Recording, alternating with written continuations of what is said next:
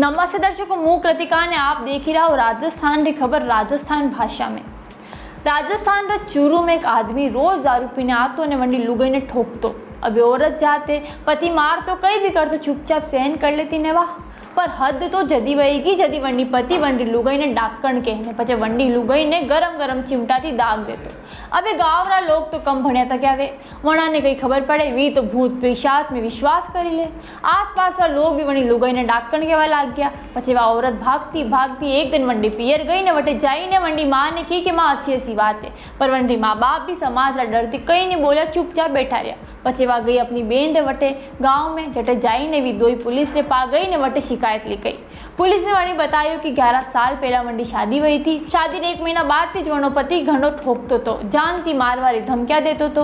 आखो दिन कहतो रहतो कि तू डाक्टर ने थार में भूत है, ने पछे जोरदार ठोकतो तो। ने बार दो दिन पहला पति दारू पीने आयो, ने वंडी लुगई ने डायन कहतो गयो, ने गरम गरम चिमटा थी वंडी कमर पर दागी दीदो।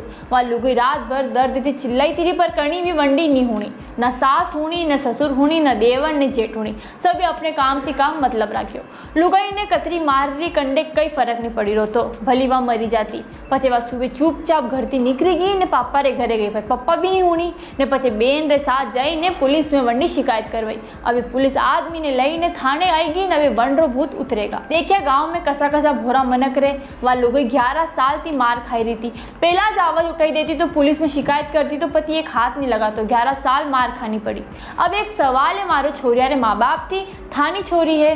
मंडो पति अतरो मार रो, पीट रो, ठोक रो तो था कोई बोली का नहीं रहा। था जन्मी है, थारी छोरी है तो थानो फ़र्ज़ है कि वनडे सुख दुख में मनारो साथ दो, न कि यूँ ही छोड़ी दो। समाज रा डर थी ऊपरे उठो और छोरी वास्ते लड़ो।